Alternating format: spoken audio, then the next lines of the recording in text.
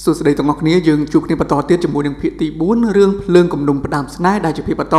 ជួយ like ជួយ share និងចុច subscribe ម្នាក់មួយផងទាំងអស់គ្នាឥឡូវយើងមកបន្តសាច់រឿងបន្តទៀតនៅពេលនេះប៉ារបស់តួប្រុសគាត់កំពុងតែរៀបចំពិធីជប់លៀងសពរសធម៌មួយនៅកន្លែងដែលតួស្រីយើងគាត់តែងតែមកច្រៀងរាល់យប់រាល់ពេលវេលាហ្នឹងណាខណៈពេលដែលកូនប្រុសរបស់គាត់វិញកំពុងតែវាយតទល់គ្នាមួយជាមួយនឹងមួយវងកូនចៅជើងកាងក្រុមជើងកាងរបស់សឹងប៉ៅឈឺណាដើម្បីទៅជួយតួស្រី នៅឈុតកន្លែងហ្នឹងគេចង់បង្ហាញប្រាប់យើងថាតួប្រុសគាត់ព្យាយាមតស៊ូដើម្បីតួស្រីខណៈពេលដែលប៉ារបស់គាត់វិញគឺជប់លៀងសបាយប្រកាសប្រាប់ទៅកាន់អ្នកសារព័ត៌មានទាំងអស់ថាមើលទៅគាត់ដូចជាមានភាពស្និទ្ធស្នាលជាមួយអ្នកចម្រៀងជាងយីងឬក៏ជាយីងយីងតួស្រីរបស់យើងខ្លាំងណាស់អញ្ចឹងអ្នកកសែតទាំងអស់កំពុងតែមានការងឿងឆ្ងល់និងសង្ស័យថាបន្តិចទៀតលោកម្ចាស់ទូជីងឈွန်នោះប្រកាសជាយកយីងយីងតួស្រីរបស់យើងធ្វើជាប្រពន្ធចុងហើយ ហើយអ្នកកសែតកំពុងតែនាំគ្នាឈូឆសួរទៅកាន់លោកម្ចាស់ទូអំពីរឿងនឹងដែរខណៈពេលដែលកូនប្រុសរបស់គាត់នេះវិញកំពុងតែត្រូវបានសឹងប៉ៅជឿនឹងវាយឲ្យរបួសដៃក៏ប៉ុន្តែទូប្រុសគាត់មានកម្លាំងពូកែកូនចៅរបស់សឹងប៉ៅជឿទាំងអស់ត្រូវបានគាត់ផ្ដួលអស់ហើយសូម្បីតែប៉ៅជឿខ្លួនឯងនឹងក៏ត្រូវបានទូប្រុសវាយគេឲ្យសន្លប់ដែរកន្លែងមកពិធីជប់លៀងប៉ារបស់ទូប្រុសវិញលោកម្ចាស់ទូជីងឈွန်គាត់កំពុងតែរៀបចំពិធីកាត់ខ្សែបូដើម្បីអបអរពិធីជប់លៀងសពរសធនហ្នឹងណានៅពេលនោះស្រាប់តែមានអ្នកកសែតម្នាក់បានមកសួរថា តើអាចទៅរួចដែរឬក៏អត់ដែលថាលោកម្ចាស់ទូជីងឈွန်ហ្នឹងកាលពី10ឆ្នាំមុនត្រឹមតែជាសហ្វ័រឡានរបស់គ្រួសារជាងទេប៉ុន្តែមិនបានជាពេលនេះអាចខ្លាចទៅជាអគ្គនាយកក្រុមហ៊ុនយ៉ុងសឹងនឹងបានសហគ្រាសយ៉ុងសឹងនឹងបាននិយាយទៅមើលទៅអ្នកកសែតម្នាក់នេះដូចជាដឹងរឿងច្រើនតាក់ទងជាមួយនឹងលោកម្ចាស់ទូជីងឈួងហ្នឹងគាត់ខឹងខ្លាំងណាស់ក៏ប៉ុន្តែគាត់ព្យាយាមរក្សាកំហឹងរបស់គាត់លាក់ទុកជាមួយនឹងទឹកមុខញញឹមរបស់គាត់យ៉ាងជិតបែរជាមកសម្រួលកវិតកឲ្យទៅកាន់អ្នកកសែតហ្នឹងថែមទាំងបានសរសើរថា មើលទៅអ្នកកសែតឯងម្នាក់ហ្នឹងគឺប្រកាសជាមានអនាគតល្អទៅថ្ងៃក្រោយជាក់ជាមិនខានយ៉ាងយូរបំផុត10ឆ្នាំក្រោយប្រកាសជាខ្លាយទៅជានិពន្ធនាយកនៅក្រុមហ៊ុនកសែតណាមួយជាក់ជាមិនខាននៅក្នុងទីក្រុងរបស់យើងនេះ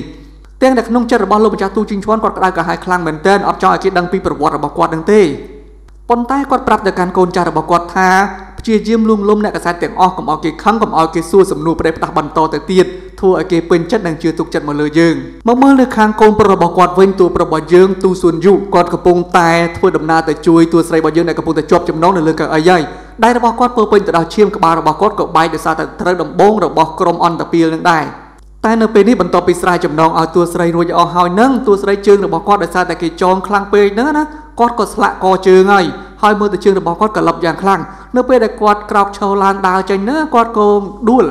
ហើយតួប្រុសហ្នឹងគាត់ក៏ត្រជាប់ទៅហើយមើលសភាពរបស់តួស្រីនៅក្នុងពេលហ្នឹងដូចជាអាណិតទៅកាន់តួប្រុសដែលថាបថយជីវិតមកក្បាលបែកសិតតែឈាមហើយខ្លួនប្រាណរបស់គាត់របួសឡើងសុសសាច់ហើយដើម្បីតែមកជួយអញ្ចឹងណាអញ្ចឹងគាត់ក៏សម្លឹងទៅមើលមុខតួប្រុសដែលក្តីអាណិតអាសូរប៉ុន្តែនៅពេលហ្នឹងតួប្រុសដែលសារតែឃើញតួស្រីមិនអាចដើរបានគាត់ក៏សុកចិត្តបីចំណែកឯខាងកូនចៅរបស់តួប្រុសវិញទើបតែនាំគ្នាជ័យយោនាំគ្នាសម្រុកចូលទៅជួយចវាយរបស់យើងក៏ប៉ុន្តែបើកទ្វារមកហ្នឹងគឺឃើញចវាយវាយអាកូនចៅក្រុមអន្តពារបស់ប៉ៅជឺហ្នឹងដួលដេកដេកអស់បាត់ហើយ អញ្ចឹងពួកកូនចៅរបស់តួប្រុសមកហ្នឹងដូចជាអត់ប្រយោជន៍ទេមកបានត្រឹមតែសម្អាតនៅកន្លែងហ្នឹងបន្ទាប់ពីចវាយរបស់ខ្លួនបានផ្ដួលកូនចៅជាច្រើនរបស់ប៉ៅជឺឲ្យរៀបដូចជាកន្ទេលអញ្ចឹងឯងរួចហើយគាត់ក៏បីទួស្រីចាក់ចេញពីក្នុងកន្លែងមួយហ្នឹងទាំងដែលក្បាលរបស់គាត់កំពុងតែហូរឈាមតក់តក់ស្រក់មកលើដៃរបស់ទួស្រីនៅក្នុងពេលហ្នឹងទួស្រីគាត់ក៏និយាយថាលោកអាចដាក់ខ្ញុំដើរបានខ្ញុំអាចដើរបានតែខ្លួនឯងតើប៉ុន្តែទួប្រុសគាត់ក៏និយាយមកថាបើនាងដើរបានតែខ្លួនឯងអញ្ចឹងមិនក៏មិនព្រមប្រាប់ខ្ញុំឲ្យលឿនបន្តិចទៅ ប៉ុន្តែឥឡូវខ្ញុំជ្រុលជា3ទៅហើយហើយនៅចំពោះមុខកូនចៅរបស់ខ្ញុំទៀតឲ្យខ្ញុំដាក់នាងចោះអញ្ចឹងដូចជាបាក់មុខខ្ញុំពេកហើយនៅពេលហ្នឹង3បណ្ដារញើរញើដាក់គ្នាបណ្ដាមកដល់កន្លែងកូនចៅទួប្រុសប្រាប់ថាពួកឯងទៅរៀបចំបោះសម្បត្តិនៅក្នុងឲ្យបានស្អាតល្អហើយកុំភ្លេចយកអាវធំរបស់យើងមកវិញផងគាត់និយាយយ៉ាងលយប៉ុន្តែដំណើររបស់គាត់ដើរលេងចង់រួចហើយព្រោះត្រូវគេវាយឡើងត្រោមខ្លួនដែរហ្នឹងអញ្ចឹងនៅពេលនេះទួស្រីថាបានឲ្យផុតពីមុខកូនចៅរបស់លោកហើយដាក់ខ្ញុំចុះបានហើយ ហើយមើលមកតួប្រុសវិញគាត់របួសឡើងពេញខ្លួនគាត់ក៏ងាកមុខទៅសួរតួស្រីវិញថាឥឡូវនាងដឹងហើយមែនអត់ទេធ្វើជាស្រីរបស់ទូជីងឈွန်ណាគឺមិនមែនជារឿងងាយស្រួលប្រមាណនោះទេទូជីងឈွန်ហ្នឹងប៉ារបស់គាត់ហ្នឹងណាប៉ុន្តែគាត់គឺជាកូនខ្លែងខ្លាយតួស្រីគាត់សម្លឹងមើលមុខតួប្រុសមើលទៅគាត់ដូចជាមិនដាច់ចិត្តទេហើយគាត់ក៏និយាយមកថាអរគុណដែលលោកបានជួយខ្ញុំក៏ប៉ុន្តែខ្ញុំអត់ចូលចិត្តជាពាក់គុណនរណានោះទេខ្ញុំប្រកាសជាសងគុណលោកនៅក្នុងថ្ងៃណាមួយវិញជាមិនខាន រួចគាត់ក៏យកដៃរបស់គាត់ទៅជូតឈាមនៅលើក្បាលរបស់តួប្រុសយកមកបៀកនៅលើថ្ងាសរបស់គាត់បញ្ជាក់ថានឹងគឺជាការដឹងគុណអាហ្នឹងណាដូចយើងកលសម្ព័ន្ធហ្នឹងអាហ្នឹងគេធ្វើអញ្ចឹងគឺជាការដឹងគុណបន្ទាប់មកកន្លែងមកមើលទស្សនភាពនៅកន្លែងជប់លៀងរបស់ប៉ាតួប្រុសវិញលោកម្ចាស់សឹងគាត់ក៏មករករឿងនៅកន្លែងហ្នឹងថាទូជិងឈន់លបងឯងណាកូនប្រុសលបងឯងទៅវាយកូនខ្ញុំធ្វើស្លាប់ធ្វើរស់ទៅហើយឥឡូវហ្នឹងខ្លួនឯងបែរជាមកជប់លៀងធ្វើឲ្យនៅកន្លែងហ្នឹងខ្ញុំអត់ខ្វល់ថាពិធីជប់លៀងសពរសធនហ្នឹងស្អីនោះទេវាគ្រាន់តែជាការសម្ដែងរបស់លោកម្ចាស់ទូឯងទេ ក៏ប៉ុន្តែឥឡូវត្រូវទៅរកខុសត្រូវឲ្យខ្ញុំកូនប្រុសលោកឯងទៅវាយកូនប្រុសខ្ញុំឡើងចង់ចូលពេទ្យចង់ងាប់ពាក់កណ្ដាលខ្លួនឯហ្នឹងអញ្ចឹងបកគលគេចេញមកចាំខ្ញុំវាយគេឲ្យចិត្តងាប់វិញដើម្បីឲ្យរួចគ្នាមើលទៅលោកម្ចាស់សឹងគាត់ដឹងថាកូនប្រុសរបស់គាត់ធ្វើអីទេគាត់គ្រាន់តែដឹងថាឥឡូវនេះតួប្រុសទៅវាយកូនប្រុសរបស់គាត់ហ្នឹងចិត្តស្លាប់ហើយ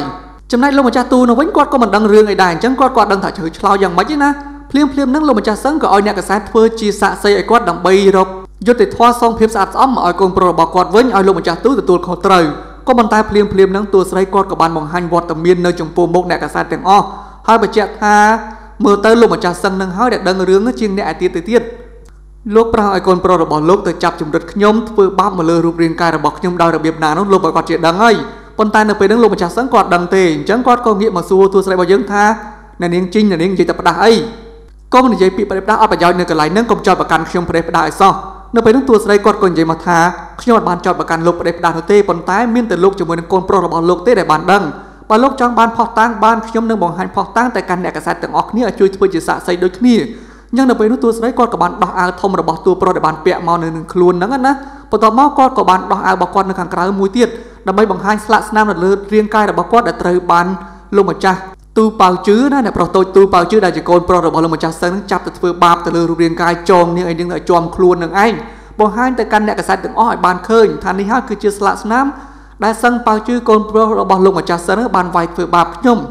ហើយបើអ្នកទាំងអស់គ្នាចង់បានផុសតាងឲ្យធំដុំឲ្យជ្រាលជ្រៅជាងនឹងទៅទៀតច្បាស់លាស់ជាងនឹងទៅទៀតនឹងបាននៅមានកន្លែងផ្សេងទៀតដែលមានរបួសដូចនឹងដែរ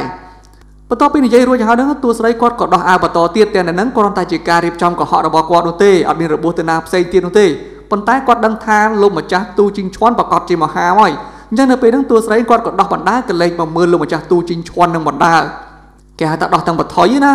ប៉ុន្តែនៅពេលហ្នឹងដូចជាការស្មានរបស់តួស្រីមែនលោកម្ចាស់ទូជីងឈွန်គាត់ក៏យកអាវធំរបស់គាត់ហ្នឹងទៅដណ្ដប់ឲ្យតួស្រីហ្នឹងទៅ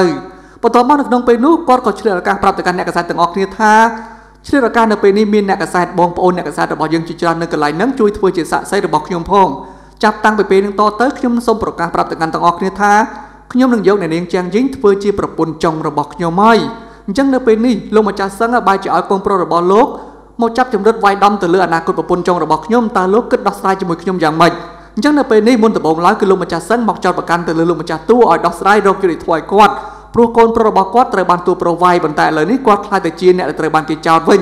អញ្ចឹងដោយសារតែអត់មានពាក្យដោះស្រាយជាមួយនឹងគេគាត់ក៏ចាក់ចេញពីកន្លែងនឹងទៅបាត់ទៅ តួស្រីអោបជាមួយនឹងប៉ារបស់តួប្រុសរួចហើយនៅក្នុងចិត្តរបស់គាត់គិតថា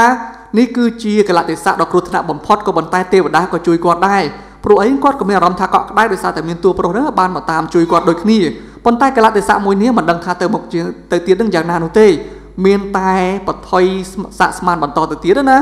ព្រោះតួស្រីមកទីនេះគឺចង់សងសឹកឲ្យប៉ាម៉ាក់របស់នេះត្រូវបាន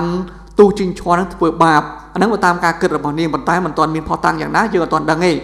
អញ្ចឹងបន្ទាប់ពីបញ្ចប់នៅកម្មវិធីសំណេះសំណាលជប់លៀងជាមួយអ្នកកសែតទាំងអស់នេះទៅតួប្រុសតួស្រីគាត់ក៏បានមកជួបគ្នានៅកន្លែងរៀបចំខ្លួនមុនចេញទៅសម្ដែងហ្នឹងដែលហ្នឹងគ្រាន់តែជាការរៀបចំរបស់គាត់ទេ